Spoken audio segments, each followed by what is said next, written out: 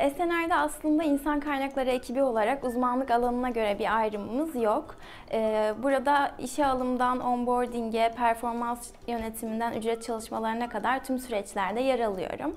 Ben de yeni mezun olarak insan kaynakları ekibine dahil oldum. Ee, aslında bu da benim için bir avantaj çünkü bu sayede HR'ın tüm süreçlerinde e, rol alabilme şansı elde ediyorum burada. Bunun yanında çeşitli kampüs etkinlikleri ve sosyal medya kullanımı gibi işveren markası çalışmalarıyla da kurum kültürümüzü en doğru şekilde adaylara ulaştırmaya çalışıyoruz.